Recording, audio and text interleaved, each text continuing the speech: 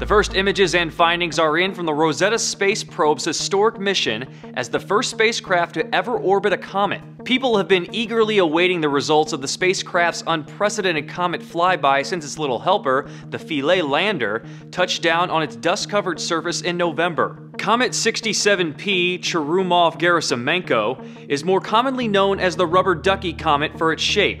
The European Space Agency's Rosetta probe captured the images while orbiting. They show a lot of dust, bumps, and craters you might expect from a space rock spiraling across the universe.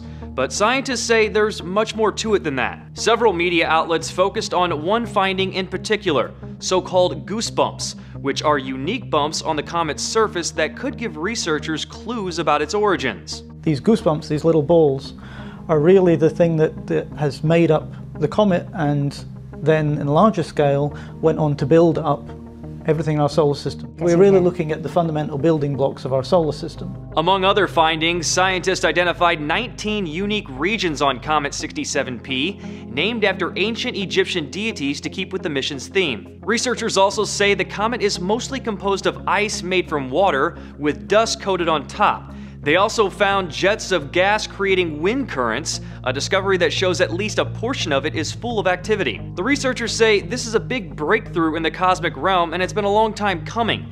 The ESA's comet-seeking mission started a decade ago, and the Rosetta spacecraft has now traveled more than 4 billion miles. As interesting and eye-opening as the discoveries are, The Verge points out this actually isn't the first time scientists have studied a comet at close distance. In 2004, NASA's Stardust mission successfully brought home some materials around a comet, and a year later, its Deep Impact mission lived up to its name when the spacecraft actually rammed right into one, but not before taking a few close-up shots. But one of the study's lead authors is quoted in National Geographic saying this time around, the comet encounter is different. We've got a snapshot, now we want to see the movie. We want to watch the comet evolve as it approaches the sun so we can test our hypotheses.